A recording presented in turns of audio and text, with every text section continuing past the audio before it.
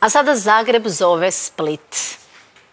Splite, javi se, Regina, dobro ti jutro. A mislila sam da ćeš na nogometnu temu, ali nećeš, nećeš danas ništa reći Regini. Pa ne, znam, jesam li, ne znam jesam li ikad s Reginom u nogometu. Pa jesi, jesi. Prošloga tjedna si još i himnu recitirao. Pokušao si, pokušao si. Himnu Hajdukovu, da. Pa da. Dobro jutro. Dobro jutro. A jutro smo baš i tekako spremni za nogometne teme. Šteta što ćemo ih propustiti ili možda nećemo. Ja ću evo baš reći dobro vam jutro iz Splita. Dobra večer, dobro jutro, puno radosti krenulo je u Splitu već od sinoć i dočeka i navijačke pjesme i fešte. Ta se radost nastavila i jutros. Evo nas pod borom, danas čizmice, pa i nagrade. Nalazim se u društvu dobrih plemenitih e, ljudi koji danas e, dijele i dobivaju nagrade za volonterizam. Sa mnom je jutros pa ne baš iz Hajduka, ali u bijeloj majici Antonija slavimo, evo, još i jutro se slavimo i ova dobra dijela volontera kojih ima, koji daju sebe, koji pomažu drugima. Tradicionalno više od 20 godina dodjeljujete nagrade za najbolje volontere. E, tako, evo, već 21. godinu zaredom regionalni volonterski centar Udruge Mi Split dodjeljuje e, nagrade na, e, za područje od Zadarske do Dubrovačko-Neretvanske županije. Dodijelit ćemo danas nagradu Vinka Luković. Tu nagradu dodjeljujemo organizatorima volontiranja sa područja sve četiri županije. Dodijelit ćemo također i nagradu Davor Belajć za školske koordinatore volontera. Nagrade za volontere baš ne dodjeljujemo, njima dodjeljujemo zahvalnice.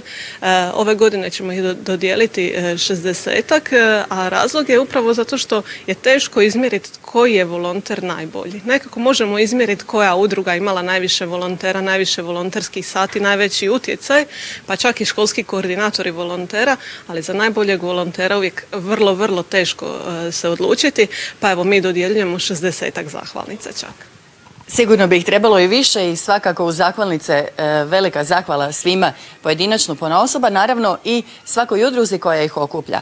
Snježana nam je jutros zapravo mogla bih reći tri u jedan. I udruga Srce koja je dobila već nagradu i koordinatorica svih volontera i jedna od onih koji rad ovaj teški probir e, kome dati nagradu. Svakako udruga Srce teško da bi opstala bez volontera. Evo kako, što oni vama znači? A volonteri nam puno znače na svim poljima i pomažu e, baš na različitim nivoima u udruzi.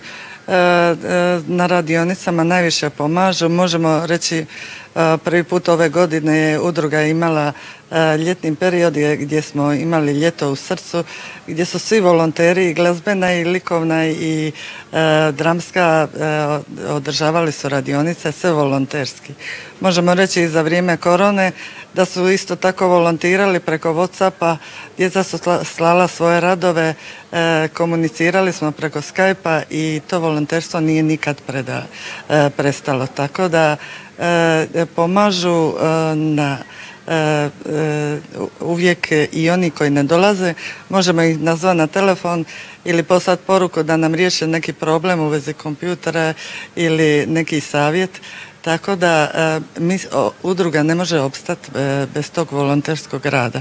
A ja, mislim, koordinator volontera osluškuje i mišljenja i drugih međutim svi sudjeluju u tim u volonterstvu i svi e, daju svoje prijedloge i nalazimo ljude i jednostavno se stvori jedna sjajna energija gdje se pojave ljudi, e, volonteri sa svojim znanjem doprinose i pomažu Kad ste kazali da se pronalazi sjajna energija, moramo podsjetiti članovi vaše udruge Srce, pa ostavili su srce na sceni onom rado gledanom, slušanom e, predstavom e, vaše udruge. Jedan od volontera koji je, mogu reći, omiljen E, u udruzi Srce, jer kad god dođemo tamo e, članovi pjevaju, vesele se, e, Roko vodi glazbenu radionicu, volonter, danas je jedan od onih koji će dobiti zahvalnicu. Što to sve skupa znači i što te motivira na volonterizam? Pa mislim, to je pomaganje drugima, to je zapravo jedna istinska radost koju mislim da bi trebalo osjetiti svi, svi ljudi na ovom svijetu i mislim da svi mogu naći malo vremena da se uključe u to sve, jer ono kako uđeš ti u to, to sve zapravo uđe još više u tebe i mislim da u volontiranju i pomaganju drugima leži jedna lipota življenja zapravo. Tako da, eto mislim da svijet bi bio bolje misto kad bi bilo još više i više volontera, tako da eto, to se ukupno čini, ne, ne znam, svit lipši, to sve. E, Nadam se da su te svi dobro čuli. Mjesta za volontere uvijek ima. Teško danas ljudi pronalaze vremena za sebe, za bližnje, ali za volonterizam uvijek se može pronaći, je li tako? Ispričavam se, još bih spomenula ove godine podshumno će se predati nagrada za pokojnog e, Antu Rausa koji je toliko e, toga napravio za osobe s invaliditetom i, i za njega e, e, e, njegov rad e, je konkretno pomogao osobama s invaliditetom i njihovoj integraciji u, društvu.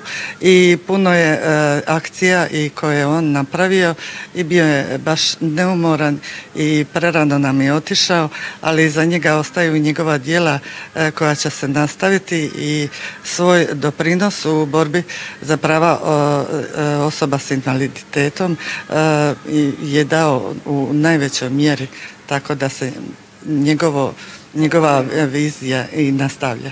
I pozivamo i druge da nastave njegovu viziju. Sjećamo ga se dobro iz naših javljanja i uključenja u Dobro jutro Hrvatska.